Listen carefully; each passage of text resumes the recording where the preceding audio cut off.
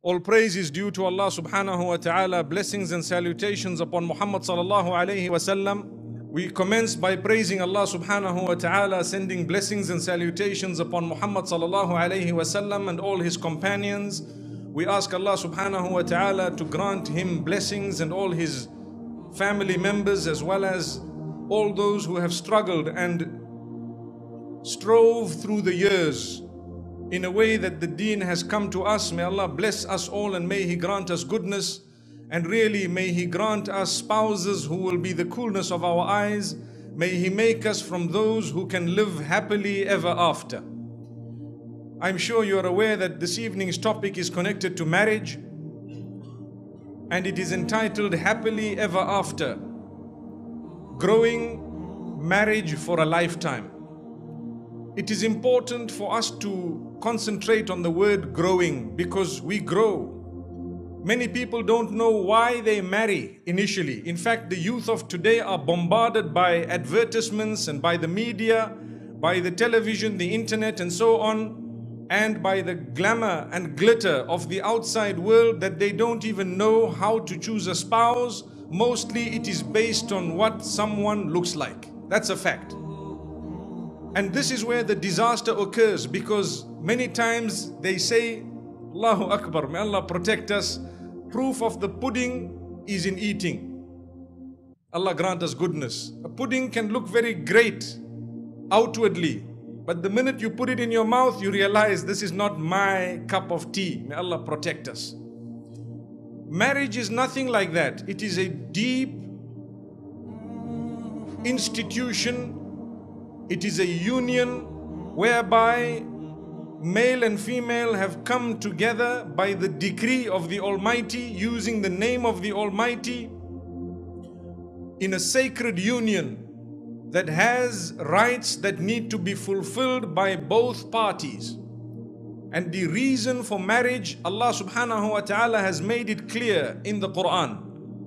ومن آياته أن خلق لكم من أنفسكم أزواجا لتسكنوا إليها وجعل بينكم مودة ورحمة إن في ذلك لآيات لقوم يتفكرون Allah subhanahu wa ta'ala says very clearly that from his signs, and this is in Surah Al-Rum, is that he has created for you, from you, for yourself, a spouse that you may achieve comfort and solace in. And you may be happy and content by this relation. Allah wants the multiplication of man on earth. And this is the reason why he has beautified in the eyes of one gender the other. Because this beautification would result in a union which would result in the deed of intimacy, which would result in reproduction, which would result in the increase of mankind, which would result in more who worship Allah subhanahu wa ta'ala, and at the same time, the plan of Allah for us all would be executed. This is why we get married, subhanallah. For the plan of Allah to be executed, we get married. As a result and a gift Allah has made for us beautification in the opposite sex. And this is a gift of Allah subhanahu wa ta'ala so that people begin to work towards it. If it was not beautified for us, nobody would work towards it. So the introduction I chose for this evening is to make mention of why we marry. And I said it is in order to fulfill the plan of Allah subhanahu wa ta'ala. And as a gift, Allah subhanahu wa ta'ala has beautified the opposite sex and this is something that we would work towards. You ask a young boy, very young age, for your information, the age is becoming younger and younger because of the environment, because of genetically modified food, because of whatever else you would like to say. But at a younger age, they know more about marriage than sometimes those who are already married. Allahu Akbar. Allahu Akbar. Just like with the gadgets of today, you find a little boy, five years old, will know more than his father about the iPhone. It's a fact. May Allah subhanahu wa ta'ala grant us understanding. Recently, I was in South Africa speaking to a group of people and I told them from the age of 8 and 10, you need to start speaking to your boys and girls about marriage. And a lot of them agreed with me. I think because they know that from that age they already have their girlfriends and boyfriends and they are already setting their minds and eyes on people. May Allah subhanahu wa ta'ala protect us and grant us goodness and may He open our doors. Remember, as parents, it is a duty to communicate with your own children. Don't be shy. If you are not going to tell them what marriage is all about, what intimacy is all about, they will learn it from someone who will teach them the wrong thing. Perhaps they will learn it from a colleague at school or perhaps a teacher who is homosexual himself or herself. May Allah subhanahu wa ta'ala safeguard us. It's a fact. It is happening on the globe and we are suffering as a result. So I call on parents to communicate with their children openly and to discuss with respect that which needs to be discussed. You are responsible. You are the one who will build the mind of your child as to how to look for a spouse. But if you've never ever spoken to your child about looking for a spouse, what type of a spouse do you expect them to look for? May Allah subhanahu wa ta'ala grant us goodness. By right, we should be living in a world where we help them looking for the spouse. But me and I, meaning yourself and myself, we know very clearly that today that does not happen. In a lot of cases and instances, it does not happen. They come to you and impose on you their choice, and that's it. So it is best for you to help them make their choice by speaking about it whilst they are still quite young. May Allah subhanahu wa ta'ala grant us a good bond with our own children, and may He make us from those who are not affected by the adverse environment or who can protect ourselves from it in order to be uh, achieving the happiness of Allah subhanahu wa ta'ala. So, my brothers and sisters, we ask the Almighty to open our doors. In our midst, there are people who are married, there are those who are not married. There is no third probability. From amongst those who are married, there are some who may have more than one spouse. We will talk about that as well by the will of Allah subhanahu wa ta'ala. And from amongst us who are married, there are some who do not have offspring. May Allah grant you offspring. There are some who have offspring. We've already touched on how important communication is with your offspring. But from amongst us, there are those who are not married yet. Or those who have been married and lost their spouses either due to divorce or death. May Allah subhanahu wa ta'ala open your doors once again. And for those whose doors have not been opened yet, may Allah subhanahu wa ta'ala open those doors of yours and grant you spouses who will be the coolness of your eyes. It is important for us to know that the choice of person whom we marry is extremely important. This is why Allah says in the verse that I read moments ago, Allah says, Indeed, in that there is a sign or there are signs for those who ponder. You need to ponder, you need to think. What is marriage all about? Wallahi, if you look at the hadith of the Prophet wasallam, he says people marry for several reasons. People marry, one narration says, for four reasons. Someone marries because of the wealth of a woman. You know, it is ironic. I've learned about the culture in this part of the world. It's quite different from the culture elsewhere as well. The cultures differ. I believe here a female does a lot in terms of financial contribution compared to other parts of the world. My brothers and sisters, sometimes there are some men who become wealthy because of marrying a wealthy woman. And after that, they make their wealth through the woman and then they want to harm the same woman whom they made their wealth through and they became rich via. Allahu Akbar. May Allah subhanahu wa ta'ala safeguard us. That is unfair. That is very unfair. We need to know a woman may be married for her wealth, but that wealth may deplete. So it is something that is very short lived. A woman may be married for her looks, but that looks, those looks of hers will somehow subhanallah, I'd like to word this very carefully, would somehow change. And you find the trends of the world also changing as to what is good, subhanallah. Good looks. There was a time when people who had a gap between their front teeth being considered as gorgeous. So everyone used to go and get a gap in their, you know, between the front teeth. And then there came a time when no, you need straight proper teeth. So now everyone wants proper teeth. Then there is a time when, you know, people have a nose ring, they look good. So everyone has nose ring. Now there is a time when person with nose ring, no one wants to look at them. Subhanallah. So what is considered beautiful and good today may not be considered beautiful and good tomorrow in terms of beauty. And even if it is, the person whom you married for the beauty that you perceived within the physical features of that particular person, those features may disappear either in stages or instantly. So that is also short lived. That is the second point. The third one, a female may be married because of her lineage or her status. Very high status, very lofty lineage, very top family. You know, that can be lost within a split second. A status can drop because of one deed. Something that they have done comes crashing. Something that a member of the family has done comes crashing. So that is also short lived. It is something that can go.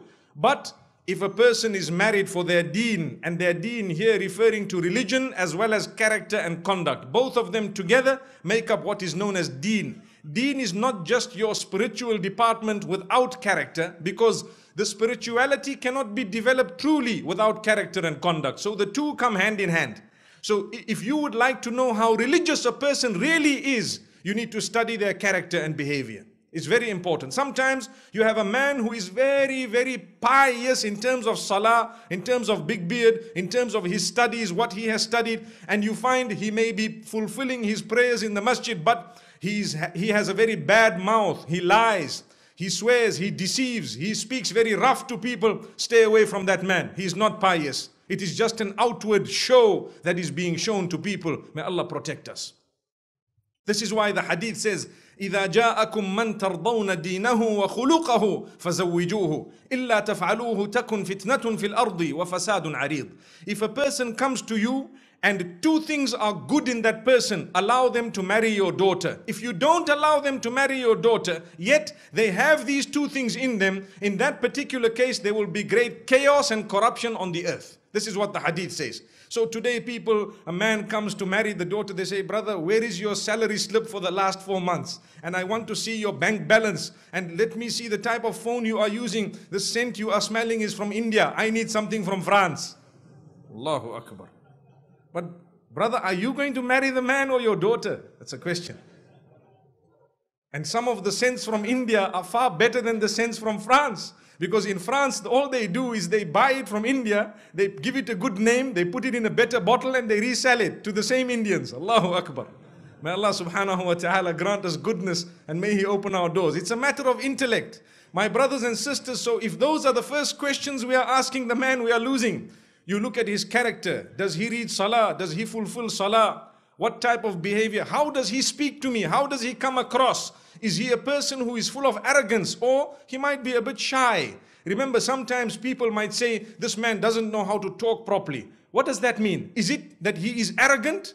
Is it that he is showing you negative qualities through his speech? Or is it that he is shy and he is not speaking much? That is, there is a difference between the two. Sometimes you have a young man who is not used to speaking to women and he's not used to being interrogated because of marriage. So when you ask him a question or two, he might not be able to be so eloquent and he might not be able to impress you with his speech because perhaps he's not used to it. For as long as he was not arrogant and he was not a bad man, and you can find out from others around in the locality, those whom he mixes with, brother, which masjid do you go to? Go and speak to the imam in that masjid. Do you see this man in the masjid? Subhanallah. If that is the criteria, then we can live happily ever after. But if your criteria was the scent and the salary, tomorrow he can become jobless because of retrenching, and then he will also be wifeless after becoming wireless. May Allah subhanahu wa ta'ala grant us goodness. Allah, it's difficult. We are in an age where everything is less. You know, someone had sent me a beautiful SMS. It's a pity I don't have it with me right now about how we have become, you know, smokeless, in, in terms of you know the, the, the lighters and what have you and we have become wireless and we have become thisless and homeless and everything is actually becoming less and less and less and even people are becoming clothless. May Allah subhanahu wa ta'ala grant us goodness. Really we are living in an age where if you are attracted to someone because of her legs remember if that is why you married her and she still has the exposition of those legs two things may happen. One is there will come a time when a gash or a mark may develop on those legs, so now you go for better legs. Astaghfirullah. Astaghfirullah. Or there may be someone who likes the same legs who has credentials better than yours, so he steals her from you. That can happen. May Allah protect us. So remember, if you have gone for the deen, as I said, the hadith says two qualities. When they get to you and the man has asked you for your daughter, do not refuse unnecessarily. No, I had a problem with this man's grandfather. You know, one day he came to my shop and he did not pay me on time, so I'm not giving you. Wallahi, what foolish behavior is that? This is the opportunity to resolve the matter. Allahu Akbar. As it is, you will be paying a mahar, you will be paying a price. May Allah subhanahu wa ta'ala grant us goodness. May He make us from those whom, when the dowry is to be paid, we have a simple, straightforward amount and we do not make it difficult for our boys and girls. Brothers and sisters, I'd like to make mention of the statement of the age. What is it? Bear it in mind, remember it, memorize it, understand it, and put it into practice. The more difficult we make marriage, the easier we have made adultery. Remember that. We are guilty of making adultery easy and facilitating it for our boys and girls if we make their marriage difficult. Do not think that they should just remain doomed until the end of life just because you are stubborn as a father or mother. May Allah subhanahu wa ta'ala protect us, really. May Allah subhanahu wa ta'ala grant us goodness. So much so that we would like our children to marry certain types of people because that is our dream. We want a good man who will look after our daughter or a good wife who will look after our son. Remember, it may be our dream, but my brothers and sisters, do not forget you have to adjust your dreams that you have for your children as time passes because the deeds of those children will reword that particular dream or it will actually go back and rewrite that particular dream. Sometimes you want your child to be a hafiz, memorize the Quran, to study the deen, but the child is not inclined in that direction. You need to adjust your dream. Sometimes you want a beautiful life for your daughter, but she might come back divorced. You need to adjust your dream. Sometimes you might want something beautiful for your child, but he does not want that particular girl. He wants to marry someone who is ready to revert. Allahu Akbar. Listen to this. My brothers and sisters, I will open it bare in front of you. We have a crisis. What is the crisis? Yes, we look for someone who is Muslim. We look for someone who is good. We look for someone, mashallah, who has, you know, some form of deen in them. But believe me, today we have a problem. I was faced with a young man who came to me and he told me his whole story. So I met his father. And his father told me, and these people are in a first world country. And his father told me, Look, I will never ever accept what my son wants. Impossible. I said, But why? He said, You know, she is a Christian. I said, She is prepared to revert, not for the marriage, but for purposes of the deen itself. And sometimes we have seen people who revert for purposes of marriage, but Allah gives them so much hidayah that they become better than born Muslims. I have seen it with my own eyes, with my own eyes. So I told him, brother, can I really speak to your heart? Will you open your heart to listen to what I have to say today? He says, No, I respect you a lot. When he said that, I seized the opportunity. I told him, If you respect me a lot, would you mind if I helped you make the decision? He was quiet. Because obviously he doesn't know what I'm about to say, but it's difficult because he is stubborn on one end. I told him, Brother, he agreed after a while. He said, Okay, inshallah, whatever you say, we will get it done.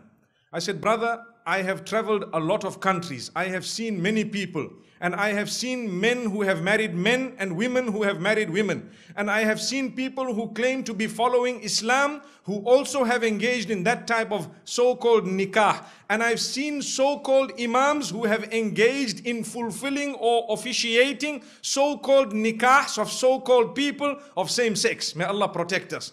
I said, brother, thank Allah that he wants to marry a woman, not a man. He looked at me and said, what do you mean? I showed him three people in his own city. I said, do you know these people are lost because they have gone out, abandoned their families in order to get married to a person of the same sex. He was shocked. He said, no, you have opened my eyes.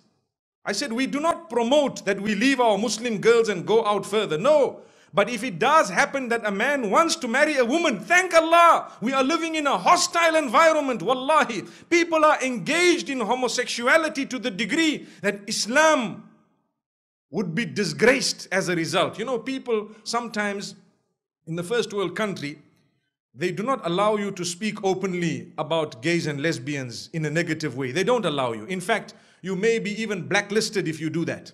So we have to be very careful how we word it because as Muslims, we do not allow it upon ourselves. That, let's get that clear. We chose to be Muslims. If someone is living, for example, in Britain, they have a choice to be Muslim or not to be Muslim, according to the British law. And they have a choice to choose. They have a choice what they want.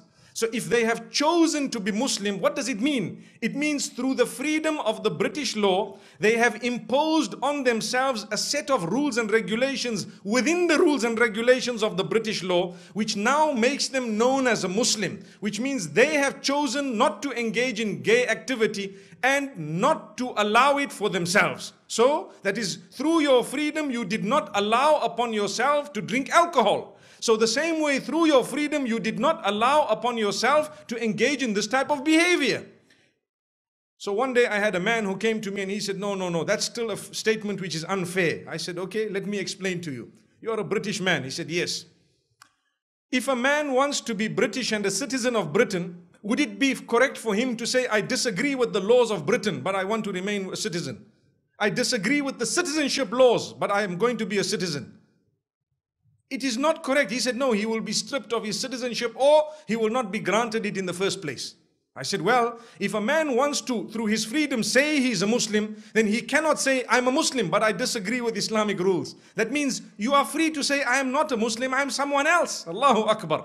May Allah subhanahu wa ta'ala open our doors. So the point I'm raising, my brothers and sisters, is Sometimes you will have to adjust your dream regarding the type of person that you want your child to marry. It is their choice. You can guide them. You will try with them. But believe me, you have to somehow give in at some stage if it is a person whom you may not have considered ideal, because sometimes the other option is something which is even worse than what you are disagreeing with. May Allah subhanahu wa ta'ala open our doors. I know of many parents who refuse their daughters to get married to people they want to marry foolishly.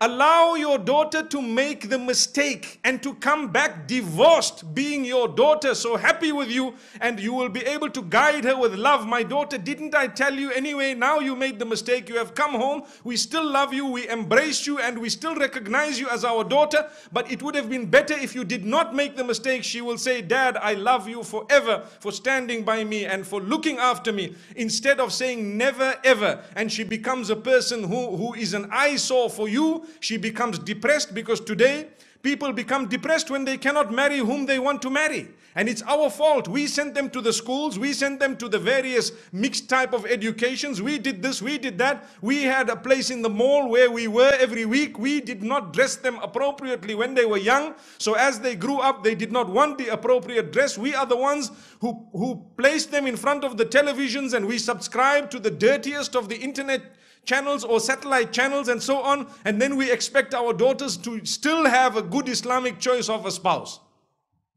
Who is the hypocrite? Father of the home. Big hypocrite. May Allah protect us. Why? Where are you? What did you allow your daughter to do all along? And now you want to come in and say, no, I allowed you to become a mango, for example. But, but now, for example, I want you to be a banana. Astaghfirullah. Allahu Akbar. I'm giving you an example of fruit because just before I entered here, we had a bit of fruit. May Allah grant us goodness. The fruit of Sri Lanka. MashaAllah. So, my brothers and sisters, it's not fair. Do you know that when a child is born, Allah gives you almost 100% control over that child? You dress the child, you name the child, you decide when to bath the child, what the child will eat. All control. Don't say, I don't have control over my child. Allah said, I gave you full control when the child was born. That's the time you did not dress the child properly. You never read your own salah. You, there was no Quran ever played. There was nothing. And slowly, slowly, as the child grows up, one by one, Allah takes away the control of elements from you regarding that particular child. So when a child is a little baby, you can give the child a rattle. A rattle worth one rupee and it will shake the rattle and smile and laugh with you. Let the child become five years old. Give them the rattle. They will throw it back at your face. Dad, are you playing a fool with me? I need an iPhone. So at a certain stage, you had control over the child.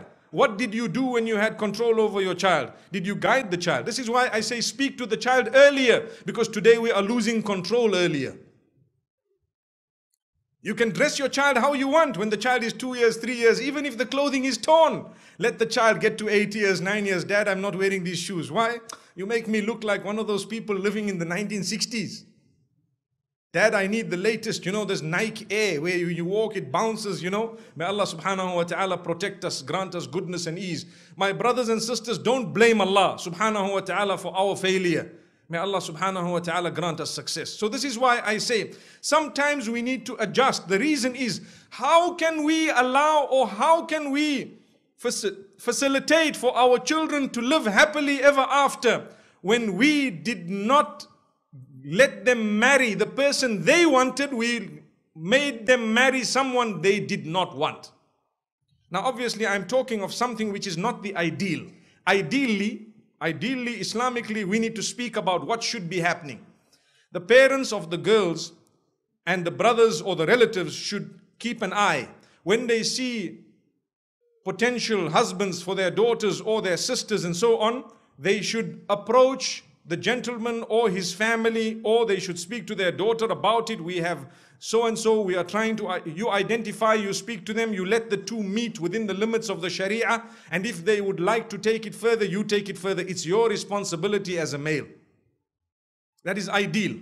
And if the daughter says, No, I'm not too happy, don't be angry, no pressure. My sister, you have the right. It is haram in Islam to force your daughter to marry whom you want when she does not want. Totally forbidden. It is a major sin, in fact. You cannot do that. It is her choice. She can say no. At the time of Rasulullah sallallahu also, there were those who said, no, I don't want to marry this man, and they were not forced to it. May Allah subhanahu wa ta'ala grant us goodness. The only time we can force someone is revel if revelation has been revealed to say these two must be married, then we have no choice. But revelation will not be revealed in the case of us. May Allah subhanahu wa ta'ala grant us goodness. So in that particular case, maybe she doesn't want to marry the first, the second, the third. You have introduced her to five or ten with respect. And when I say with respect, you can find out from the scholars exactly how that should happen. What type of arrangement. You don't just say, okay, pick up my daughter at 9 o'clock and bring her back at 12 o'clock. That's not how you meet in Islam.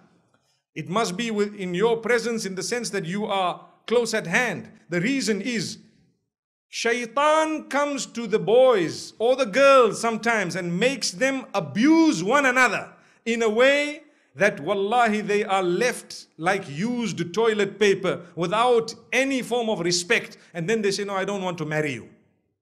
May Allah grant us goodness. May Allah grant us really the opening and may He open our doors. So someone says, but why can't I get to know Him more? You can. You can get to know him much more. You can meet five times. You can meet more than five times. But the rules of meeting are still the same. You will meet with your chaperone, with your mahram. You will meet with them close at hand. Come to your house or we got, come to yours. One of the two. Either I come to yours, you come to mine. And we meet with total transparency.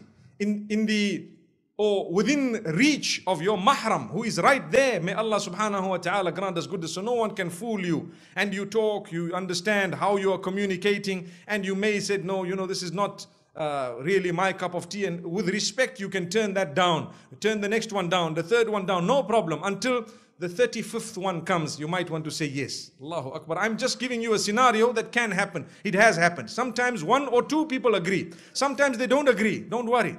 But remember, when you have turned one down, you may not get another one. Remember that. And when you have turned one down, you may not get another one as good as the one you have turned down. So you need to be very careful. And this is why we say, guide your child.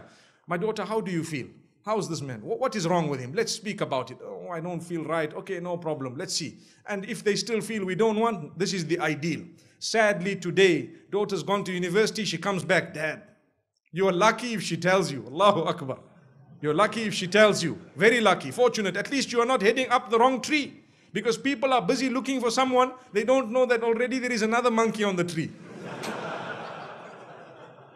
it happens. A lot of cases. And this is why I salute and respect those children who can openly say, you know what, dad, I have done something wrong and this is what it is. And dad, you don't just lift up your, your, your fist and start fisting your children. No, understand that you are also responsible. Do not get angry. you need to deal with something that has come into your home. This is when they will be able to live happily ever after. You know, whilst I'm talking, I see a few elderly people here. Wallahi, my due respect to you. We are now speaking of the age of today.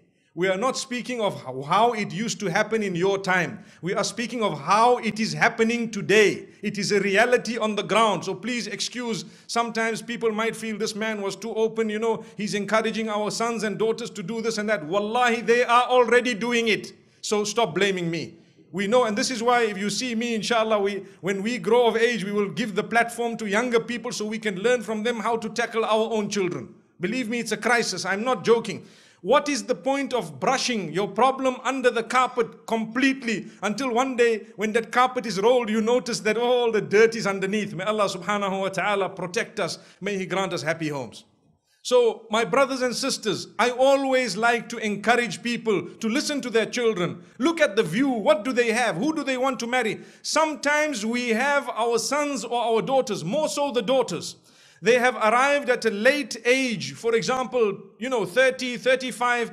They are stigmatized in society because they, they are 30, 35. And sometimes the father just does not budge. And he says, look, you sort out your life. Why?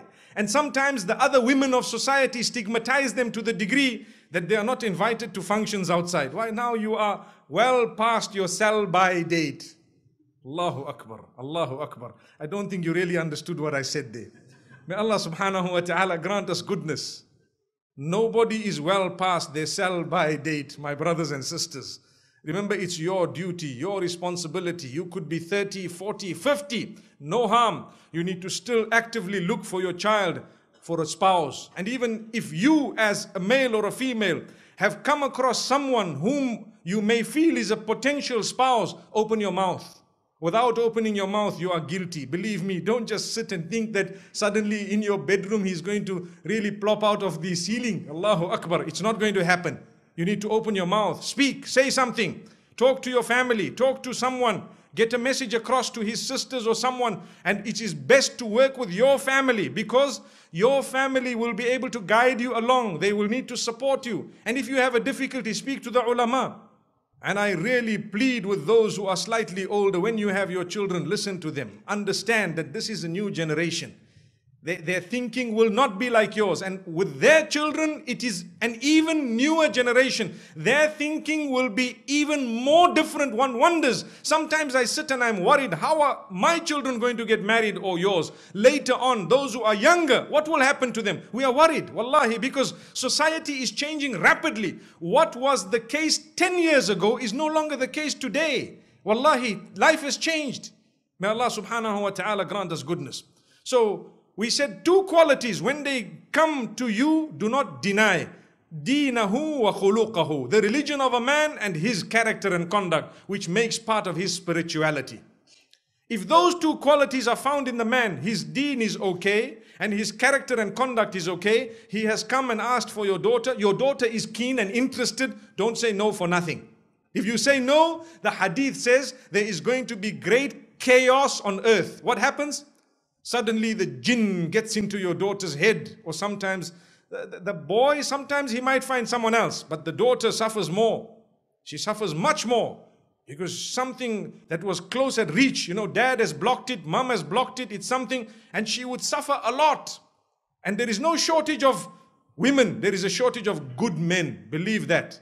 There is a shortage of good men, and I plead with all the youth who are here become good men. We don't want men, we want good men responsible, those who know marriage is about really getting together with someone who is suitable to be the mother of your children so that you can continue the plan of Allah subhanahu wa ta'ala. What is the point of having children in number who are worshipping shaitan? Rather have children who are worshipping Rahman. May Allah subhanahu wa ta'ala grant us goodness. So this is why the youth Remember your bad habits like smoking, drugging, clubbing, pornography, wasting time on the telephone. And you know, I sit here in Sri Lanka because of the time difference. Sometimes it's difficult to fall off to sleep because time difference of various countries and where I come from and so on. Sitting and you see, mashallah, the world in Colombo is online at 3 in the morning. Allahu Akbar. 3 in the morning, someone messages you back, Allahu Akbar. But here in Colombo, it's 3 o'clock. Brother, you are not from Africa. You are supposed to be asleep. No, I'm just covering my back as to why I was awake. Allahu Akbar. My brothers and sisters, what a beautiful relation we have. Look, we are Muslimin. We are talking about our deen. We are talking of crises that are facing society today. The youth, leave your bad habits. You need really to be a good man so that you are able really to rear the champions of the ummah of tomorrow. May Allah subhanahu wa ta'ala grant that to us. And the same applies to the sisters. Sometimes we get caught up and hooked onto, you know, Facebook and Twitter and this man and that man and using it wrongly. You see, it's like a knife. You can either use it in the correct way or you can use it in the wrong way. More so, people are using it in wrong. This is why if someone were to ask me, I would tell you I strongly discourage Facebook and Twitter and these social networks. Strongly discourage. You might say, well, why are you found there? Well, go and see how we use it. If you are using it in the same way, then perhaps you might want to revise that ruling. May Allah grant us goodness. But if you are using it to socialize, hello and how are you? I know of a case, and I'm going to say it bare where there was a man who put a false image of someone else on his profile and he lured a young girl who was in her teen age to the degree that he flew across the ocean to meet her in a certain country and yet he was 65 years old, a man with a totally false identity. May Allah subhanahu wa ta'ala protect our sisters, our daughters, and our sons as well. And this is why we say, zina daynun. You know, zina is actually a, a credit. You have you have borrowed something, it is going to be recompensed within your family members. You need to remember this. And this is something that has been said by the scholars of aforetime. Engage in tawbah, you can stop that. That's the beauty. They say if you fiddled with someone's daughter, someone is fiddling with your daughter. Allahu Akbar. You better engage in tawbah so that nobody messes around with your children. Allahu Akbar. Remember this.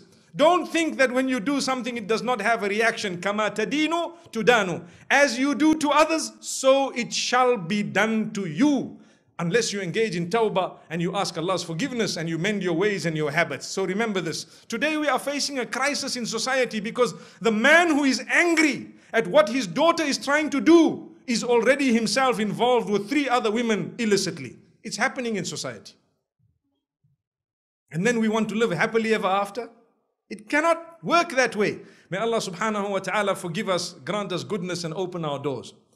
So as we were saying, the, the religion is important and the khuluq is important, character and conduct. Then what will happen, inshallah, we will support our children, we will live happily with them. We, inshallah, begin now. Now I will, I will mention a few pointers of how it is that the marriage itself should be handled so that we can achieve the mercy of Allah. I tell you why. Marriage is not just a joke. It's not just a social sort of a thing that happened. No, it is a sacred union and Allah has said, Ij'aluha fi masajidikum. Keep it in your masjids. It is best for you to have it in the masjid, the house of Allah, because you are going to mention the name of Allah. There are several verses that will be read, and you will see those verses in a few moments. I will inshallah go through them.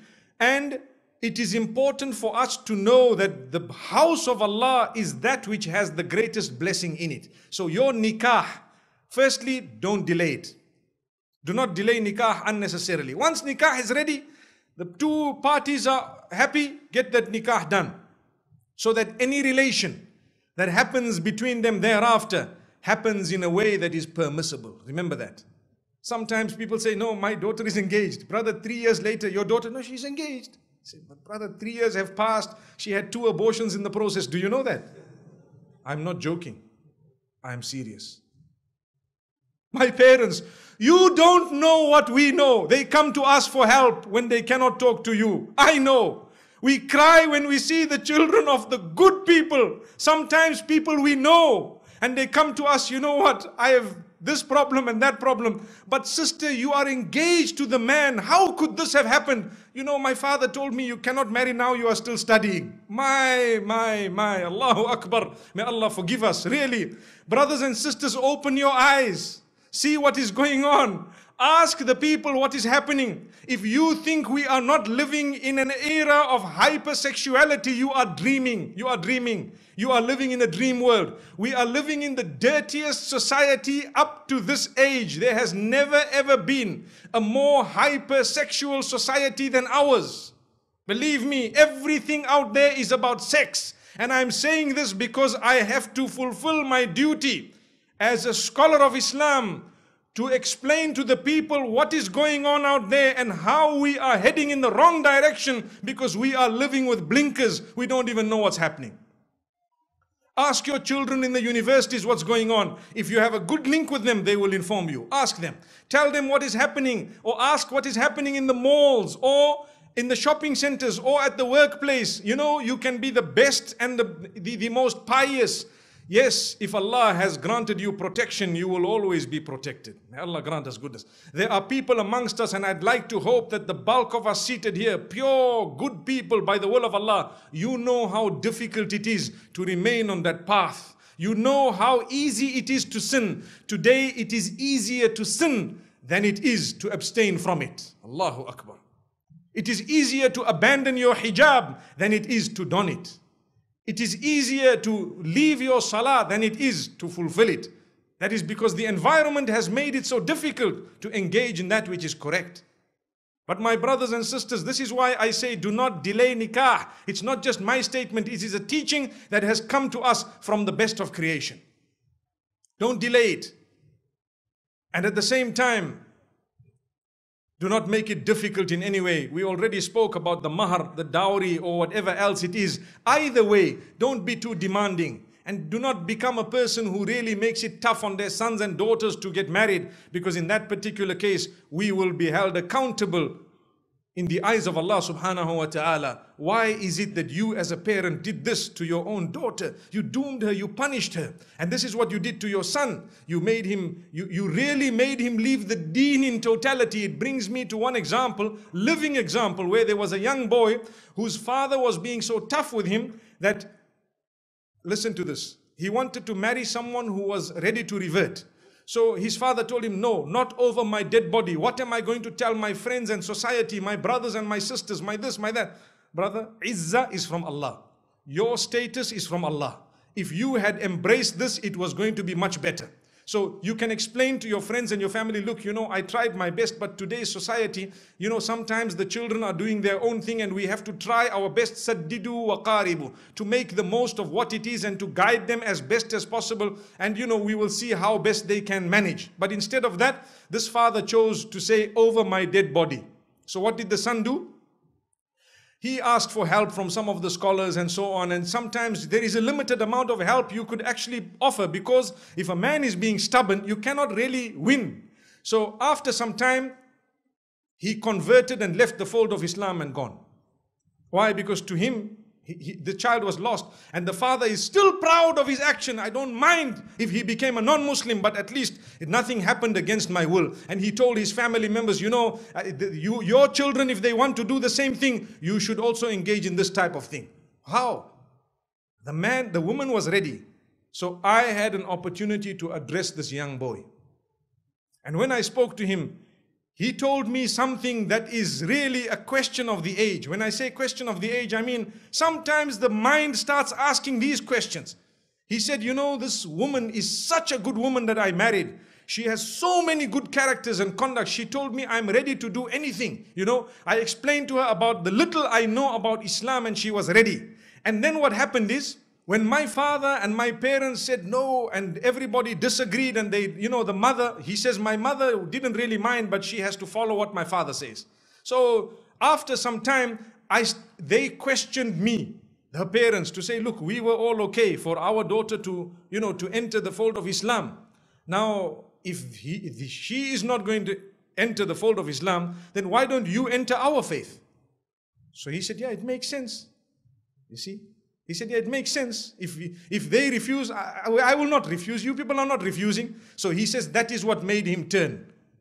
Now look at this. The young boys of today, this is the logic they are using. They will not tell you Islam is correct and Islam believes in all the previous messengers and Islam, Allah is one. Even the father perhaps doesn't read Salah correctly, but he was proud with his action. May Allah subhanahu wa ta'ala forgive that man. Really. We tried very hard, but to be honest with you, it is only Allah who can bring people back. That's why I say it is foolish. Sometimes you might lose your child totally, rather you lose them 20%. Allahu Akbar. Like I said, you know, moments ago, and this is very true. I've said it here in Colombo in the past, and I want to repeat it. We have instances where people come and say, you know, Sheikh, there is a jinn, my daughter has a jinn. We say, okay.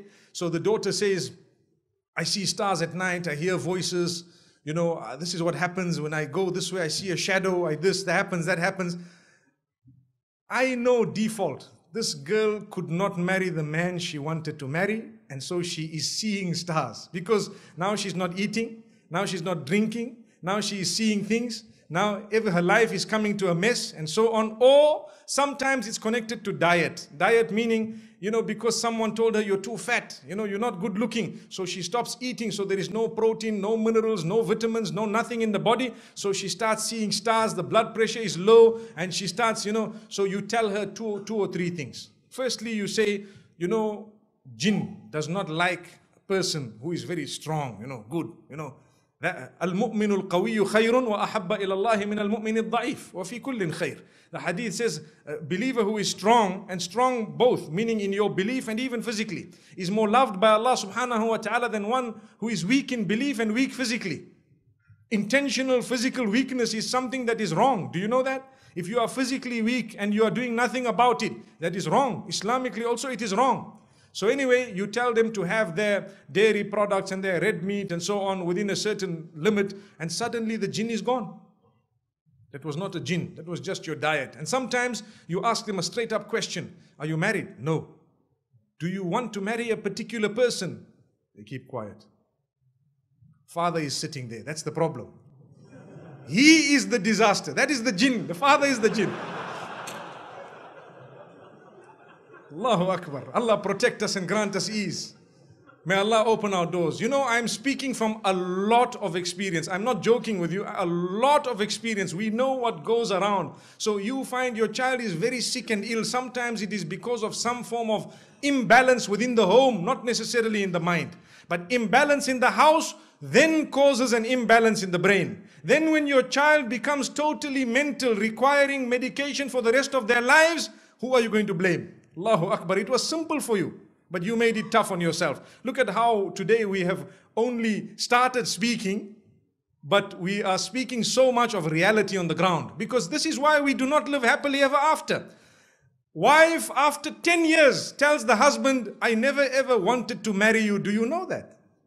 But it took you 10 years to tell me. And husband says, Guess what? I was also forced. What is the point? What is the point? Their parents are foolish. Man is telling his wife after so many years, I was forced, I didn't want to marry you.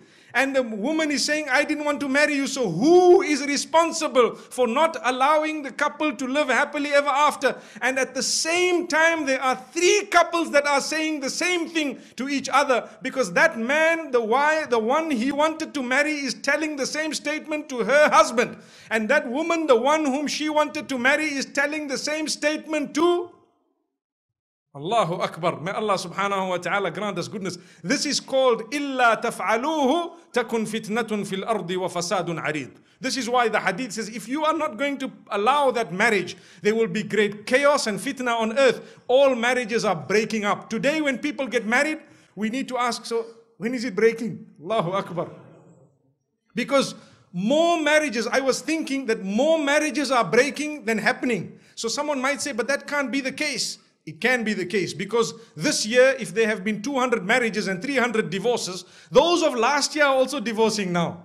Allahu Akbar. As time is progressing, there are people who are unhappy in marriage. If I were to tell you, my brothers and sisters, without exaggeration, that more than half of us sitting here have a problem at home, I don't think I would be lying. I'm sorry to say this. I'm very sorry. I apologize in advance. I might be wrong. But according to what I know, I think I've worded it carefully. I'm not saying that you are breaking or your marriage is broken, but we do not have a problem at home. I don't think so. I think more than half of us would, would, would admit if we had to that we have a problem at home. Why? Because of something. What is the thing? Ask yourself, the day you were married and you said, Yes, I accept her as my wife, the name of Allah was used, the verses were read. You don't even know the meaning of those verses up to today, and you led your life in a way that was not in that direction. So today you are sitting with a problem. Sin actually reduces the chances of living happily ever after. When you want to sin and you do not want to uh, be responsible, you will reduce the chances of living happily ever after. And when you were married, you were so happy. Are you as happy as you were that day, today? If the answer is no, what went wrong? Diagnose it, change it. Let me quickly read for you the three verses that are read in Khutbatul Hajah, which is often repeated when it comes to nikah. The first one. يا أيها الناس اتقوا ربكم الذي خلقكم من نفس واحدة وخلق منها زوجها وبث منهما رجالا كثيرا ونساء. واتقوا الله الذي تساءلون به والأرحام. إن الله كان عليكم رقيبا. O you, O people, Allah starts by saying, O people, the beginning of Surah An-Nisa. Be conscious of your maker, your Rabb, your nourisher, cherisher, sustainer, provider. Be conscious of the one who is in absolute control of every aspect of your existence, which means develop your piety. O people, be conscious of your maker, the one who created you from a single soul, who is Adam. And from it, he created Hawa, he created its spouse. And from the two of them, he caused a multitude to spread on the earth. From the two of them. Fear him or be conscious of him and understand you are answerable to him. Allah says, Wattaqullaha and be fearful of Allah. Be mindful of Allah. Be conscious of Allah. Alladhi tasa'aluna bih the one whose name you use when you are asking one another, or you want someone to believe you, or you want to believe them, you want them to use the name of Allah. This verse is making mention of how sacred the name of Allah is. Be conscious of that Allah, whose name you consider so sacred. Allahu Akbar. And be conscious of the wombs. What's the meaning of the wombs? The female, the women, your mother, your sister, your wife, your daughter. Be conscious of them and their right over you. Are you fulfilling it or not? Allahu Akbar. And Allah says, Inna Allah kana alaykum raqiban.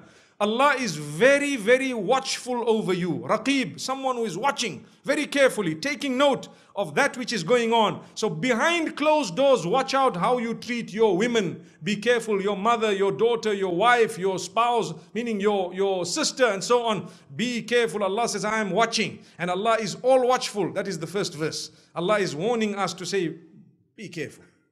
The womb that gave birth to you and the womb that gave birth to your children. I want to stop there for a moment. Today we look for any reason to break the marriage. Do you know that? Any problem, we look we look for that which will make us part ways. Why is it that our fathers and the previous generations lasted longer? Because they did the opposite. What did they do? They looked for the smallest reason to hold the marriage together. That's the difference.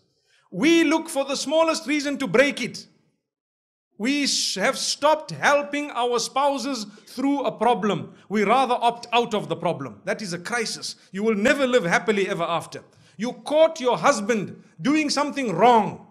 Two things. Immediately today, they would say, I'm going home, I want a divorce. Out. Why? Because one thing went wrong, the man made a mistake, something happened, he fell into the trap of shaitan, and now the house must be broken. That is stupidity and foolishness. It really, if a house was supposed to be broken for a mistake of a man or a woman, all our houses would be broken by now. Every one of them. Tell me who has not made a mistake here. Allahu Akbar. We are obviously mistakes are of a different nature. We are not talking of you know certain types of errors that are sometimes perhaps beyond a certain limit. No, but we are talking of errors and mistakes. Sometimes things do occur.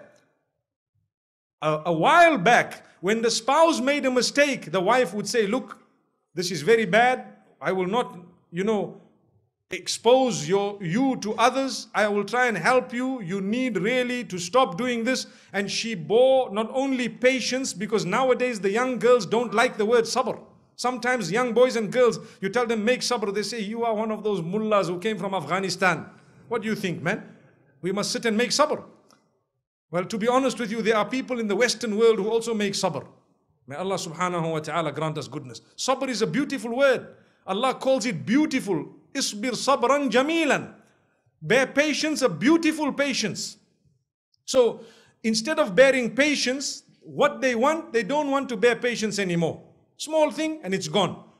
May Allah subhanahu wa ta'ala grant us goodness. As I was saying, a while back, a problem happens, they would help each other through the difficulty. I know of cases, and I'm sure your parents and grandparents whose financial condition was so bad that they did not have a house which was decent to live in, but the marriage did not break. Today, you don't have a washing machine at home. She says, I want to go home. I need a divorce. Why? You think I'm going to wash? She's a princess, brought up being called my princess by her father. Now she's not used to lifting one spoon. Allahu Akbar. One spoon, I can't. Why? Where is the servant? Otherwise, I'm going home. This is why we tell those who are wealthy, may Allah grant you barakah in your wealth. Remember, do not allow that wealth to create a standard of daughter who will not be able to be a wife of someone else. Remember this. Because when you have brought up a princess, you can only get her married to a king. Remember that. And as I told you, there is a shortage of kings. So what will happen? She will go and she will say, In my father's home, I never cooked. So now you are sitting back. My fathers and mothers who are here today, let me explain. Even if you are from a good home that is Allah has blessed with wealth, get your daughters trained to do the certain duties that they may have within the home. That is what it is. And I don't even want to get into the debate as to should she cook in the house or should she not cook? What is this? Wallahi, look, when there is a role to be fulfilled, you fulfill it we have not got to a point where we want to argue and we want to mix and we want to do this and that. In Islam, we believe that men and women are equal, equality in terms of spirituality, but physically they are different, emotionally they are different, and their roles that they need to play in terms of their gender is absolutely and totally different. We believe this. And the whole world agrees with it. And I've told you in the past in this city, that there are loos that you will find even outside this hall. There is a picture of a man and a woman, which, which says this toilet is for males and that is for ladies, gents and ladies. Why do they have separate toilets? Because they admit and they agree that the people are different. Physically, they are different. Emotionally, they are different. And to be honest with you, I, when I entered one, you know, public loo in one of the airports, I was shocked because two men entered holding hands. I said, this is more dangerous than having a, a, a loo which is mixed. Allahu Akbar, Allahu Akbar. May Allah safeguard us. When you see two men holding hands, hugging each other, entering the loo, you are supposed to be worried. They should have a separate toilet for those type of people. May Allah subhanahu wa ta'ala grant us protection. This is society. And these are things we have seen, and sometimes they are hidden from the eye of the innocent. You know, we sometimes you have an old elderly person, he's never seen those things, he's not bothered, he doesn't know how the internet works, and so on. I am surprised. I want to tell you, Sri Lankans are some of the most advanced when it comes to the internet. Believe me, very advanced. Indians and this, this part of the world, completely. You will find everybody, you want to get a message across, one little tweet, the dunya knows about it. It's a fact. May Allah subhanahu wa ta'ala safeguard us. So this is why my brothers and sisters we say and we repeat and we reiterate we need to make dua to Allah subhanahu wa ta'ala. We need to ask Allah for guidance and ask Allah subhanahu wa ta'ala to open our doors. The verse that I read, the first verse of that khutbah, Allah is warning us, watch out how you treat your women. Look at what happens. Like I said, do not break your marriage because of one thing or two things or five things. No. Your duty is to work hard. I know of cases, and I'm sure you would. Like I said, your parents and grandparents, perhaps they did not even have proper homes, and yet Your grandmothers and mothers lived with them. That is when you were born. And that is how you grew up without shoes. Today, if your husband cannot afford a shoe and your husband has lost his job, people say, I'm going home. Why? Because my lipstick you can't afford anymore. Allahu Akbar. May Allah safeguard us. And I think in some societies it's the other way around. Man sitting back at home, relaxing. He says, I'm divorcing you. Why? You're not bringing enough money into the home. Look at how the world has become upside down. The world has become upside down. So we need to be careful. Remember, look for something small that will hold your marriage together. Do not look for something small that will break your marriage. How they lived happily ever after was they helped each other through their crises and problems. They bore patience for eight years, for 10 years, for 15 years. After that, they lived happily ever after. Without that patience and without correcting one another, without accepting correction, you may never ever live happily ever after because there will come a time when you will be completely lost. Remember, the sweetness of the fruit of patience that was borne for eight years is so sweet that it will last 80 years and even beyond. Sweetness of sabr and patience is something that is really, it needs to be tasted in order to be understood.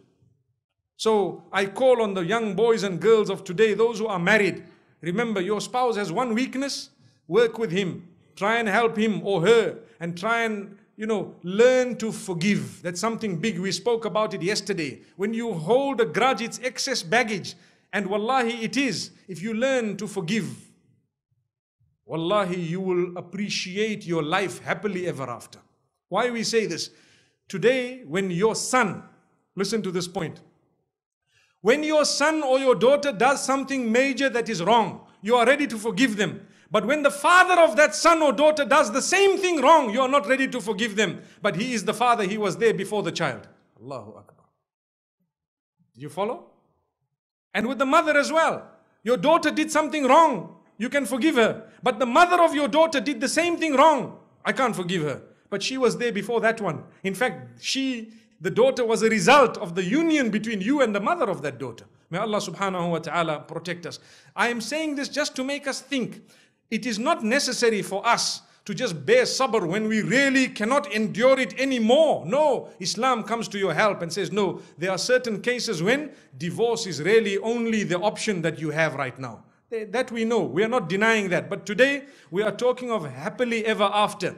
If divorce happens to be the only choice out of a specific issue, then subhanallah, that will be the way, and perhaps that will grant you a life happily ever after. But today we are talking about growing in marriage, not growing in divorce. The second verse, Allah subhanahu wa ta'ala says, يا أيها الذين آمنوا اتقوا الله حق تقاته ولا تموتن إلا وأنتم مسلمون O you who believe, be conscious of the Almighty as He is meant to be. Meaning, according to His level. Be conscious of Him according to His level. Obviously, that is something very difficult. And do not die except in the condition of submission, which means lead your whole life in the submission of Allah, you will be happy. If you lead your life in the submission of Allah subhanahu wa ta'ala, you will be happy because Allah has the solution to your problems. And Allah has laid rules and regulations to help you avoid any problems whatsoever. If you understand the plan of Allah, you have the knowledge of the deen, you have abstained from what Allah has asked you to abstain from, and you have thanked Allah, you have engaged in what He has asked you to engage in, in that case, even if something happens in your life that others would consider negative, for you it is a win-win situation. Now this verse is read, khutbatul hajah. It is that important khutbah which was repeated by Muhammad so many times. A lot of us don't even know that we are supposed to be in submission. And from this verse, we can also pause for a moment and we can learn a lesson that my brothers and sisters, when you engage in sin, your marriage cannot work as such. You cannot guarantee yourself the happily ever after title. You cannot. Why? Because you are engaged in sin. Who owns that happily ever after title. Who can give it to you? Allah. So if you are in transgression, If you are against the commands of Allah, do you think that will happen? Sometimes you might be very happy, your spouse is excited, you are excited, you lived for 30 years, the problems come after your child grows old. Then the problem comes. When sometimes your grandchild can cause distress for you. May Allah subhanahu wa ta'ala protect us. May He make us from those who can be the coolness of the eyes of our parents, and may He make our offspring the coolness of our eyes. I mean. So this is why we say don't sin. When you sin, you have reduced the chances of living happily ever after. The third verse. The third verse I would like to think in terms of marriage is one of the most important verses. يا أيها الذين آمنوا اتقوا الله وقولوا قولا سديدا O you who believe, be conscious of Allah. Look, this has repeated itself for the fourth time now. Two times in the first verse, once in the second verse, and once in the third verse. Be conscious of Allah subhanahu wa ta'ala. And only utter that which is upright. Your tongue. 99% of problems in marriage are connected to the wrong use of the tongue, abuse of the tongue, or not occupying the tongue with that which is beneficial.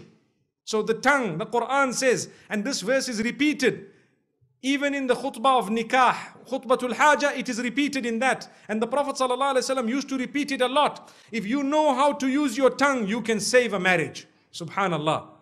Praise your wife, talk to her, say good words, or your husband, tell them how good looking they are. Tell them how you appreciate their sacrifice for you. My brothers and sisters, Marriage is about sacrifice. The more you have sacrificed, the more you will win the heart of your spouse. Sometimes, even if they don't like you that much because of a word you might have uttered or a mistake you might have made, your sacrifice will act as a soothing cream over that particular gash that might have been caused, and very soon the mark will be gone.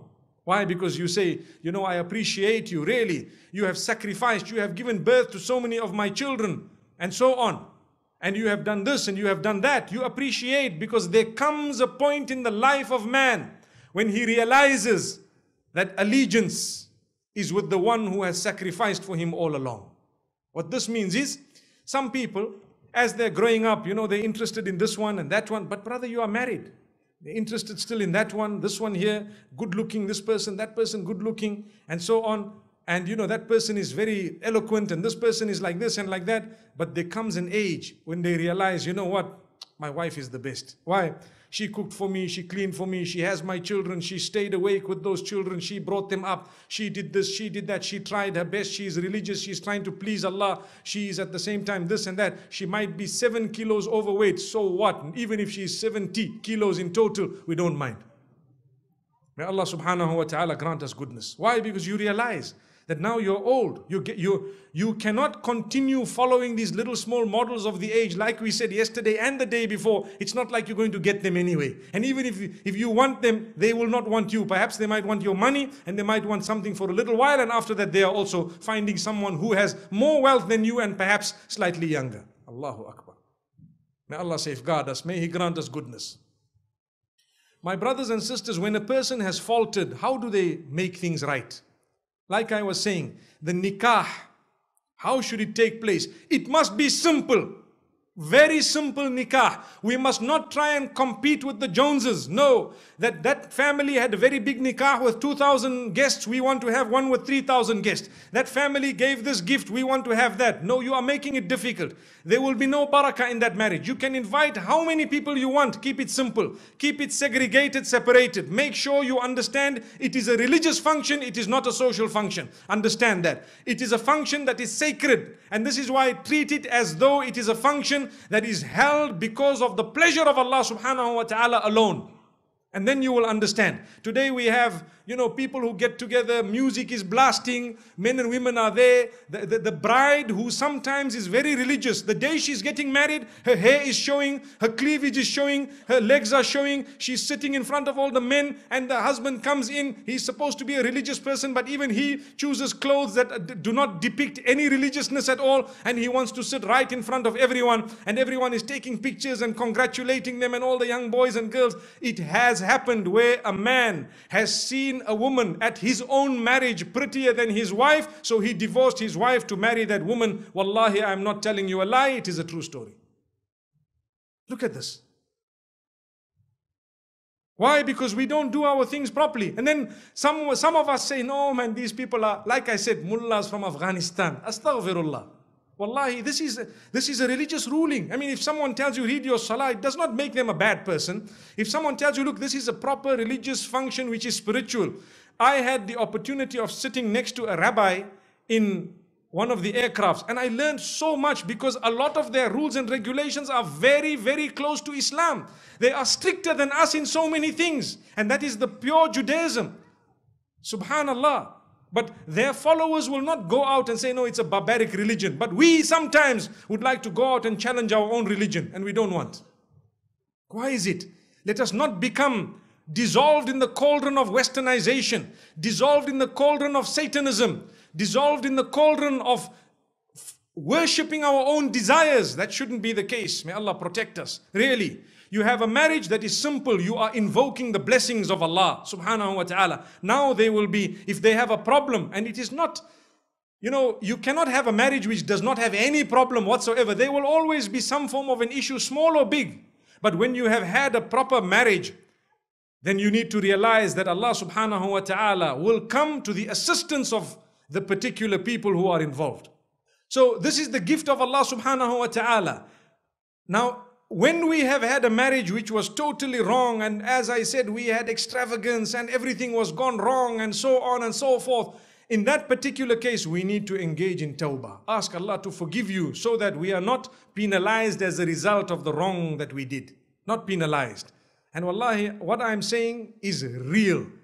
I have studied marriages where you have people who have abandoned the law of Allah for those few hours of the walima or few hours of that function. They abandon the law of Allah. They pay for it later on in life. I have studied these sometimes. And unless they engage in tawbah and change their lives. Because sometimes people are already married. Sometimes we who are married, we did it the wrong way sometimes. So how do you mend that? Allah says by engaging in istighfar, say, Ya Allah, we did it, we did it wrong. Ya Allah, forgive us.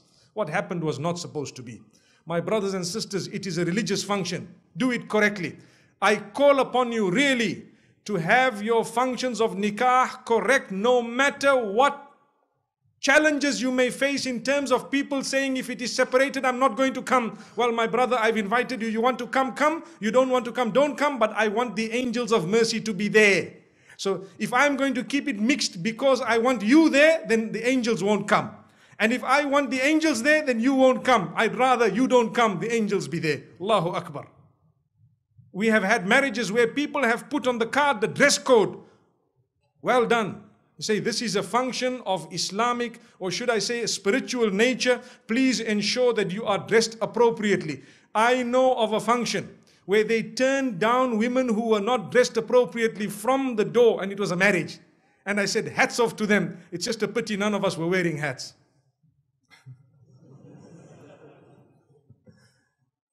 May Allah subhanahu wa ta'ala grant us goodness. So my brothers and sisters, I want to now make mention of also a few important points, seeing that we have spent, we have dwelt a lot on reality on the ground. We need to guide one another, remind one another. What is it that will result in the good marriage? Firstly, we need to learn to trust our spouse. You trust this person. I was, I came across a fatwa recently online of one of the Arab scholars where he issued a ruling saying it is prohibited for you to go through the mobile phones of your spouses. I was shocked. When I read that, I was shocked. He said, spying is not allowed even if it is against your own spouse. You take them at face value, which means you treat your spouse according to how they treat you and so on. They say if you are going to start the spying game, many things can happen.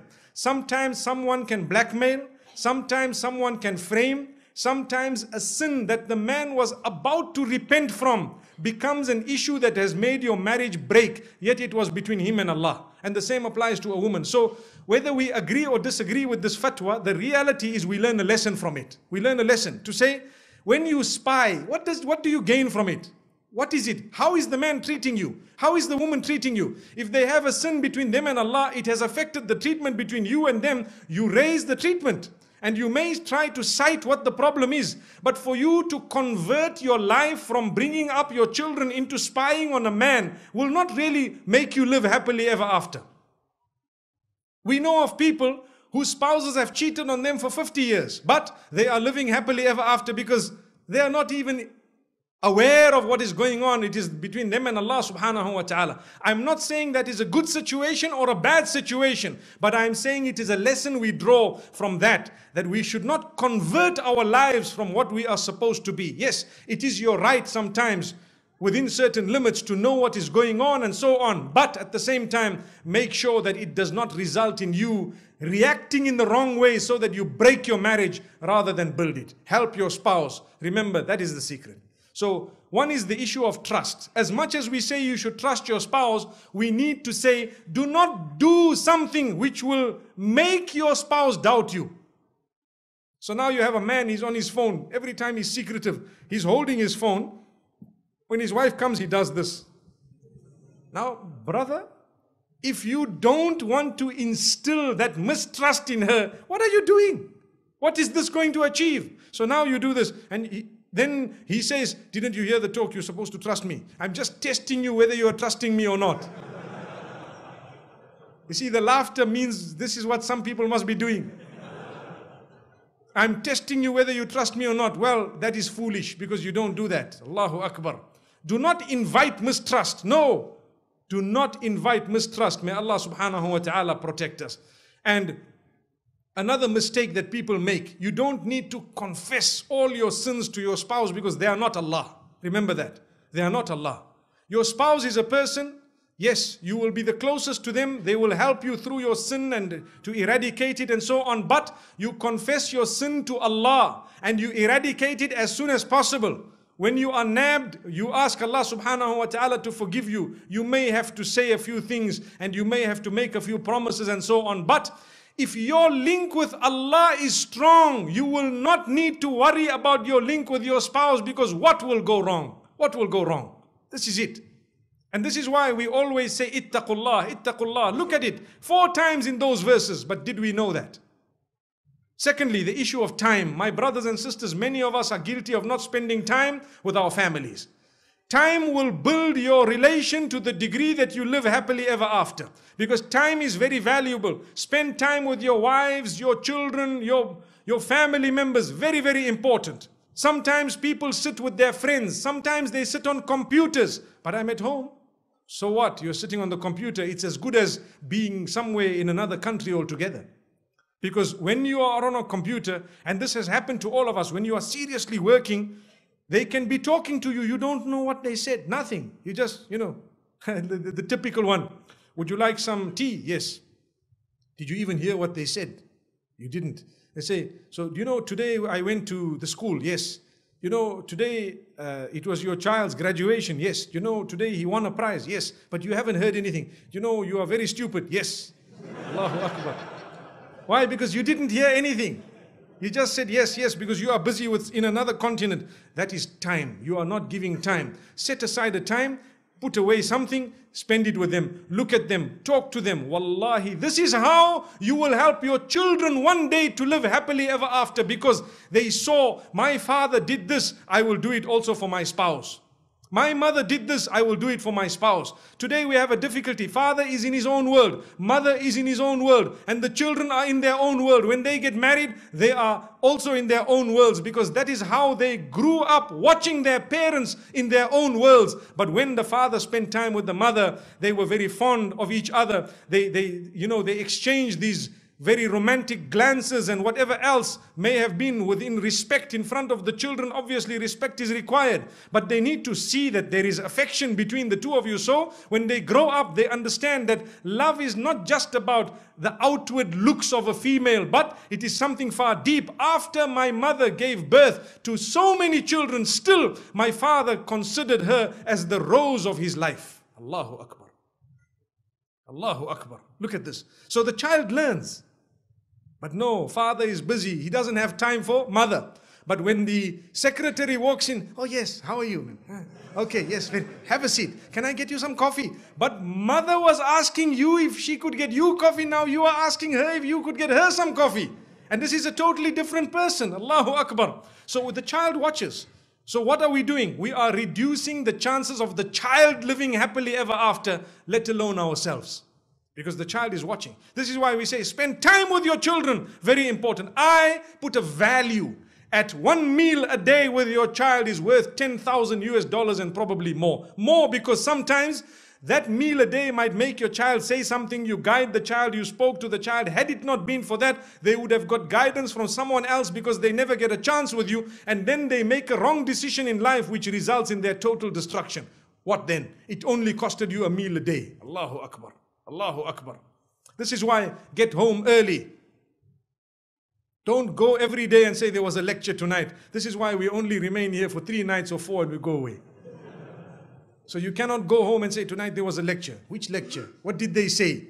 Are you going to say that they said we must not spend time wasting time outside? We must get back home, physically home. Even your friends, believe me, many marriages have broken because of friends. The friend say, hey, yaar, you know, what, you, what are you doing, man? You know, you, how can you be controlled by your wife? You want to go home. The time is only 10 o'clock, man. The night is still young, but my wife is also young.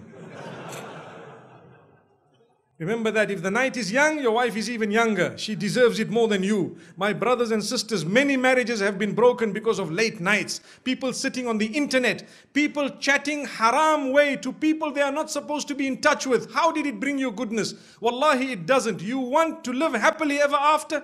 Close it. You don't need to be on that chat. It's, it, life will not come to a standstill without you. Believe me. But your real life may come to a standstill with that chat. Do you know that? Allahu Akbar. Allahu Akbar. May Allah subhanahu wa ta'ala grant us control. The internet is a tool that is so addictive that you lose track of time the minute you are hooked onto it. So we ask Allah subhanahu wa ta'ala to grant us understanding. Another very important point, my brothers and sisters, to live happily ever after, you must be neat and tidy. I know someone might think, well, what does this have to do with, you know, the whole thing? We want to live happily ever after. Sometimes a spouse does not like you because you are shabby and tatty. They cannot tolerate you because, you know, you leave your smelly clothes lying around here and there. You get up and you're not in order. Sometimes you, after you use the loo, it is as though there was a whole chain of people who have used that loo. Allahu Akbar. And you, we leave it so dirty and filthy that the wife feels, now my job, this man married me only to wash after me. But to wash after him. Why is that the case? You need to be neat, be tidy, cleanse yourself, take pride in your dress code for your spouse, for your family to watch. Your children will see that my mom always looks smart, and it was not to, uh, to you know, to attract the man at the mall. No, it was for my dad and for us. And she was always a person, role model in the home. You have dressed smart and prim and prop. Your clothes are good and, you know, neat and so on, according to your level. So that is a very important point if you would like to live happily. And if you'd like to live happily ever after, make sure that you are dressed prim and prop, neat and smart, and make sure that you have presented yourself as the father of the home or the mother, or a person who is a good spouse who is dedicated towards that marriage. Very important point we spoke about already. I'll just say it the point of communication. You need to communicate with your children and with your spouse. If you do not communicate with your spouse, you cannot expect that marriage to work. You must have a good relation. They must be able to say to you, and you must be able to say to them whatever is in the heart in a respectful way. And remember, how you talk to your spouse also determines how long you will be with them. Because if you keep on screaming and shouting, they won't tolerate it more than a while. After that, they're going to get fed up. They will want to go home. Nobody spoke to them like that in the past. You need to know, speak to them with respect, utter good words. The minute you shout, scream, swear, lie, cheat, deceive, that will not be tolerated more than a certain amount of time. No. So stop screaming and yelling at home. Stop using words that have a better alternative. I have spoken about the term shut up.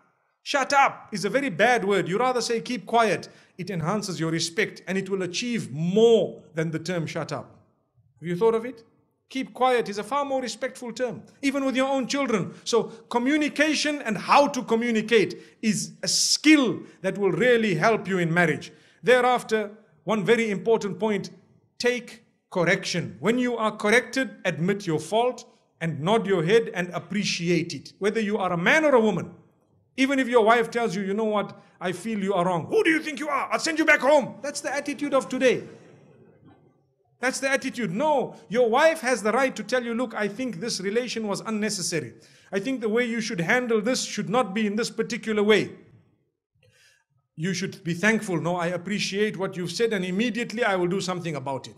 MashaAllah. Now you live because you appreciate they are a female.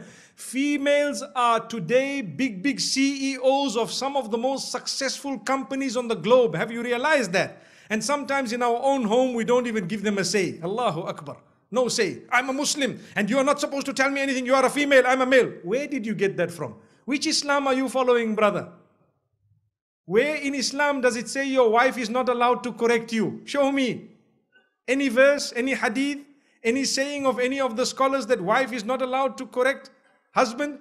وَلَهُنَّ مِثْلُ الَّذِي عَلَيْهِنَّ بِالْمَعْرُوفِ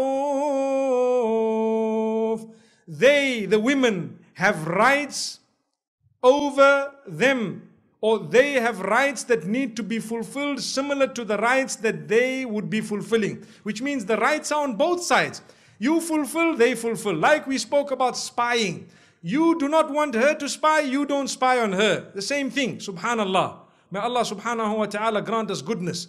So if you would like to have the right to correct her she has the right to correct you too we should not give Islam a bad image by making people feel that, you know what, our women are just slaves. Whatever I say goes. But when you are wrong, she has the right to stand up and say you are wrong. So much so that if you are very wrong, beyond a certain limit, she has the right to actually apply for a nullification of that marriage without even your involvement. And she can get it. Do you know that she can go to the to the Shari court or to the group of ulama who is handling these marital crises and she can say, I would like to apply for a divorce on this grounds, this grounds, this grounds. If those grounds are valid, she will be awarded that after the fulfillment of certain uh, system that takes, you know, certain steps that take place.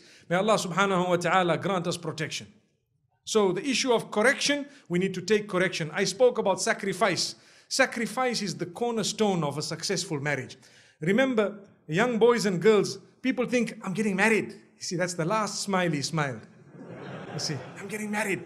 See, I'm getting married. And when you see him the following morning, he says, I'm married. I'm married. But what happened? It took him one night to realize it's a big responsibility on his shoulders. He now needs to look after someone's daughter. He took her with the name of Allah. He needs to provide for her. He needs to make sure that he respects her. He has a new relation. He, his life needs to change. If your life does not change after marriage, then perhaps you don't understand what marriage is all about. This is why we say sacrifice is the cornerstone towards living happily ever after. When you get up the following morning, you need to realize I must get up, I must do this, do that. When you are lazy, yesterday I used the term a bag of lazy bones. Wallahi, it's a fact. If you are lazy, you cannot expect to live happily ever after. There is no room for laziness when it comes to marriage, both for the male as well as the female. Get up and work hard to, inshallah, to prosper in that marriage of yours. Then, what is very important is to support your spouse, to stand by your spouse, to be fair and just. Here, I need to spend a few minutes. What is the meaning of fair and just? Your mother has a problem with your wife. You don't just side with one of them. No, you must be just. You must be fair. If your mother is wrong, she is wrong even if she is your mother. We have an attitude where we say, My mother is my door to paradise. My brother, sometimes your mother is your door to hell. Did you know that? From Islam, I'm telling you, if that mother of yours is oppressive and she is doing something wrong, she could be your door to hell, not to heaven. Do you know that? Wallahi. And I, I, I, am saying this with all passion because we have seen a lot of marriages where the mother-in-law thinks she is the queen who is married to the woman who you are married to before you. And then she comes and relays all her unjust instructions which are absolutely unacceptable. And the man just sits down, that's my mother. That's my mother. That's my mother. How long are you going to keep on saying that's your mother when she is oppressing your wife? Something somehow, somewhere needs to be said. Either speak to your father or tell your mother, Mother, I love you so much. I did not marry this woman for her to be a means of taking my love away from you or your love away from me. The love I have for you is totally different from the love I have for her. So, Mother, I will love you forever, but I want to tell you this is the line you do not cross, my beloved mother, and you kiss her forehead. You can kiss her hands and her cheeks and tell her that, my mother, you are wrong. Lay it down. When you do not lay your territory, your marriage cannot work. People don't know where is my limit. They don't know. So, how can your marriage work? Your mother doesn't know, your father doesn't know. Some fathers issue instructions to their daughters in law worse than the instruction of their own son to that wife of theirs. So, what was the point? Father, why didn't you just marry this woman one time? That is not fair. You cannot just come and say, That's my daughter in law. I must tell her, you stand here, you go there. No, they have their life. Give them their freedom. Understand they too need to grow in marriage to live happily ever after. It's not just you who comes and dish instructions and go out. I know this, what I've said here might be a bit bitter for some people to digest, but it is a fact of life. It is a red button that we press, and we need to press it and constantly remind people because when you talk about happily ever after, remember, you need to address issues that are current and valid. Otherwise, you are wasting your time. I cannot speak about a fairy tale because none of us will then learn something by the time we walk out of these doors. So, this is why we say you need to be just. Tell your father where he should stand with respect. And please, the parents, do not hate your child just because he needs a bit of time with his wife. No. Or the wife needs time with the husband or the children. No, allow them that. Let them go. You do not have to go everywhere your children go. Uh, we are going for a holiday, for example, to Penang or to Langkawi. So now father says, We are coming with. Okay, you come with, mashallah. The next year we are going to holiday, we are going to this place, we are coming with. The following year we are. So whenever did they go alone? Never. Why? Because mom and dad tag along. Give them once or twice, a few times, give them their own. Tell them, look, you guys go along, inshallah, enjoy yourselves, and next time we will join you. Perhaps you can arrange for us. Yes, it is very important to look after your parents. Believe me, we are not at all undermining that. That is a rule on its own. Look after your parents, but be just when it comes to your relation with them and the relation with your spouse. Be just. Even your children. Some people, and this happens in some homes, they have more than one child. So the children begin to get children. So those children who live with them in the same home, every time we shout them, we pick on them. Why? Because they live in the same home. And when the other son's children come, because they live far away, oh, my son, where were you? What happened? These children are watching. They are seeing, look at this grandfather of mine. These people here, does he know what they do at school? And here he is embracing them. It is only because we are foolish. Human nature makes us get irritated with those we live with sometimes. And we don't know those who are really irritating are actually so close to us because they are far. This is why we tell parents sometimes you need to make sure your children live a little bit of a distance from you so that you can be even closer in relation. And I have seen in my life with lots of experience that those children who do not live with their parents are sometimes sometimes closer in relation with their parents. They have a better understanding and they have a much better relation. And I am not promoting people to abandon their parents. No, you need never to abandon your parents. If you do that, you are sinful of the highest order. But what we are saying is give each other your breathing space is very important. Give each other breathing space. Some women, they get married into homes where mother-in-law sits and dishes instruction, right? Today we will cook this, this, this, this, this. I'm inviting 20 people for lunch, 40 people for supper. Tomorrow morning, 60 people for breakfast. But hang on, man. I'm one daughter in law here. We are a few people here. What's going on? If this happened once a while, it's okay, but you cannot just sit back and dish out instructions as though this is a restaurant. MashaAllah, if you really want, I have a friend who owns a restaurant known as Dine More down the road. Perhaps we can go there. MashaAllah. May Allah subhanahu wa ta'ala grant us goodness. I had to mention that because you know there are a few restaurants we've been to here. And mashallah, the cuisine is something else. So, my brothers and sisters, I'm just thinking of it, probably the cooks are, are, are males, not females. Remember this. When you say food is very nice, a sharp woman would say, Well, that's a male cook. Which means now let's eat here every other day. May Allah subhanahu wa ta'ala grant us goodness. So the point being raised is be just, be fair, be balanced. You cannot keep it lopsided all along because you will have your children, they will grow up, they will get married. How do you like your daughter to be treated? Remember this. Remember, very important point. Then a very important point also is non-comparison in two angles. You want to live happily ever after, do not compare your marriage to someone else's. Perhaps they have bigger problems than yours which are hidden and you don't know. Don't compare your marriage. You look at your own condition. Are you happy?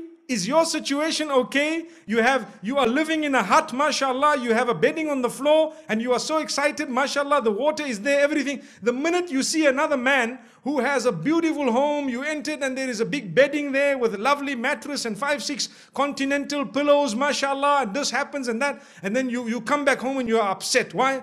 You know, those people are living so happily, man. Look at them. Why should you destroy your hut looking at the bungalow of somebody else? You are never going to get there. Allahu Akbar. You are not going to get there. So do not compare your marriage to others. You be happy with your situation for as long as it is okay. You make the most of it. One day, if Allah wills, He will grant you even better. Ultimately, we go to Jannah. In Jannah, you get what you want. So, comparison in terms of your marriage. Another thing, to compare children also reduces your chances of living happily ever after. You know, and you don't allow this to happen. The worst is when someone enters your home and starts comparing children, or you yourself in front of your children. This one is very dark in complexion, this one is light in complexion. And the child is hearing. It's not their crime, it's Allah who chose that. And someone, this one is very clever, that one is thick, thick. The way we say the word thick, it makes them feel thicker. It's a fact.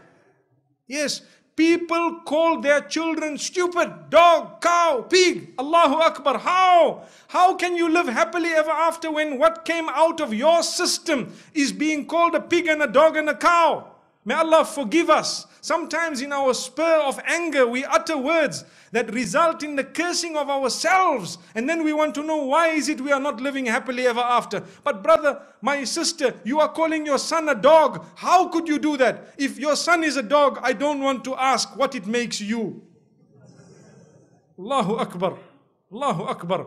My brothers and sisters, very important. Do not utter cutting remarks, calling people names in your own house. We are not even supposed to be doing that out of the house.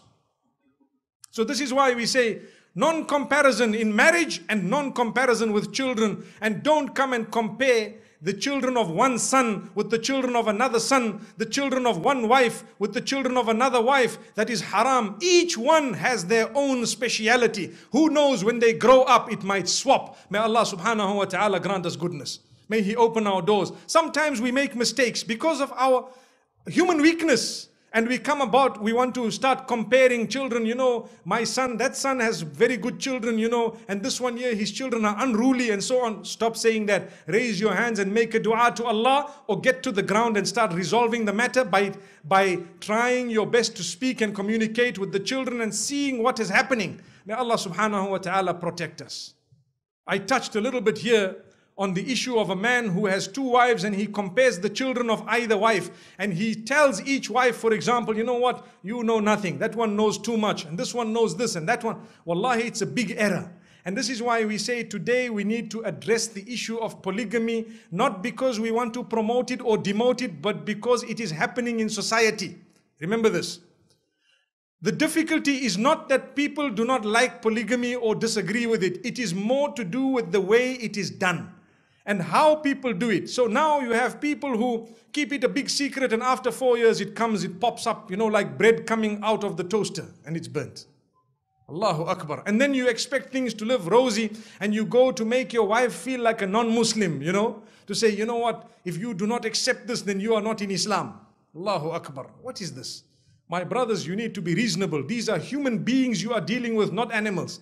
They have feelings, they have a heart. You need to talk to them. You need to make them feel wanted. You need to make sure if you are from amongst those who has more than one spouse, you need to make them feel equally important. You need to go out of your way to build that love with either spouse, if more than one or two, because we are Muslimin, because it happens in our society. You would really be serving yourself the death blow if you had to prefer one over the other in terms of the statements that you make to them or being unfair. May Allah subhanahu wa ta'ala safeguard us.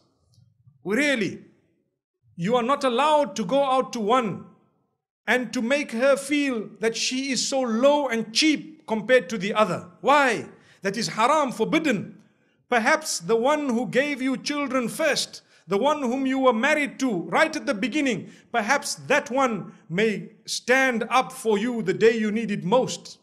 And at the same time, you may have benefit from the, the other and perhaps the third and perhaps the fourth you may have benefit and they may come with their own goodness. So remember each one comes with a unique goodness. Subhanallah you need to know how to identify the goodness in each. Why is it that we want to identify the weakness and we want to get irritated? And remember sometimes it takes a little bit of time for women to come to terms with this. If you are a man and you are a real muslim and you fear Allah subhanahu wa ta'ala and you want to follow the sunnah of Muhammad sallallahu alaihi wasallam, you will realize and understand that your spouse is only but a human being. You need to stand up and make them feel as wanted as ever. It is not difficult to make your wife feel like she is the queen and to make the other one feel like she is exactly the same queen. Allahu Akbar. It's not difficult. But you need to know and you need to realize the statements that come out of your mouth mean a lot. Go out of your way to utter good words. Don't compare things. And remember, we as Muslimin are taught to work on the goodness and to identify and praise the goodness. You know, I was asked a question by one young man. This question has repeated itself so many times. Perhaps I have received more than a thousand emails in this regard. People who are hooked onto pornography. So they tell you, and this is an example, I'm bringing it up for a reason. They tell you, you know, we are young, and you know, uh, one, one brother says, I, I try to leave this, but I really can't. What is it? What can I do? Now, it's not easy to advise someone, especially from long distance, and you don't know who they are. So, one of the best ways of advising them is the advice of some of our scholars who have given the following advice. They say, when you have a sin that you are engaged in, you are trying your best to come out of it, but you are falling back into it. You are trying your best to come out of it, falling back into it. One of the ways of tackling it, obviously, is to increase your good deeds so much so that your bad deeds will become automatically decreased. When you increase your salah, your tilawa, your, your condition of wudu, your dhikr, your goodness, your going to the masjid, your attending the Islamic lectures or talks or lessons or the schools and what have you. So your good deeds have increased so much and your dhikr and what have you has increased. Automatically your bad decreases. When you do not have enough good deeds, your bad deeds increase because you now have time in the day to do those bad things. Now, this is a very important lesson for all of us in anything and everything we do. Increase your good deeds and you'll find your bad deeds decreasing automatically. If you read your five salah in the masjid every day, you will find it difficult to commit adultery. It will be not easy for you to go into the gambling and casinos. It will become difficult for you to waste your time on the phone because you are worried about getting up for salatul fajr and I want to get to the masjid 10 minutes before the time of salah.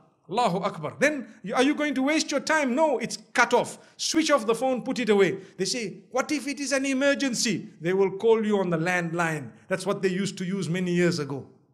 When I hear the landline ring at my home, I know it is an important call. Because those who have your landline number are those who need to have your number.